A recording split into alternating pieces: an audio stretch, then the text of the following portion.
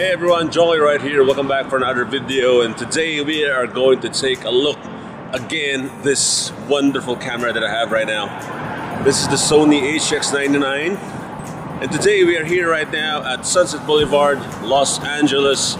It's almost noon time but still very pretty cold right here. Yep, cold enough for me to walk around but what else can you do in a lazy Sunday morning? Back to this camera I did not tweak anything out of the box is what you get. All I did was changing the resolution from 4K to 1080, that's it. The Sony HX99 is light compared to other point-and-shoot cameras, especially its advanced brother, the Sony RX100 series, though the build quality of the camera is made of hard plastic, but sturdy enough, durable enough to handle, and that is why it's light. Let's take a short pit stop because we need to check this out.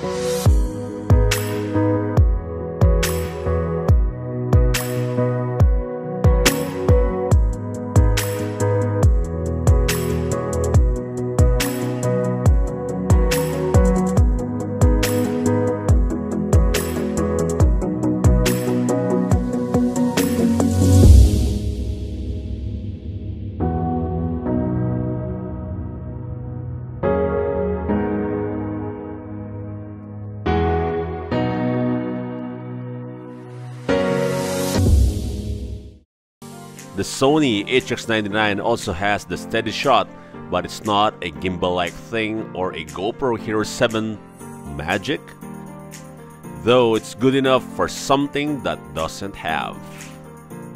And what I like the most is so far the zoom capabilities of this camera is the one that I really like and you have seen how it works twice at the Hollywood sign and at NBA game LA versus Golden State Warriors and aside from that one, I think there is no other point and shoot camera that can do this. Or moreover, I intend to replace my iPhone from shooting videos. And definitely the iPhone doesn't have a zoom like that too.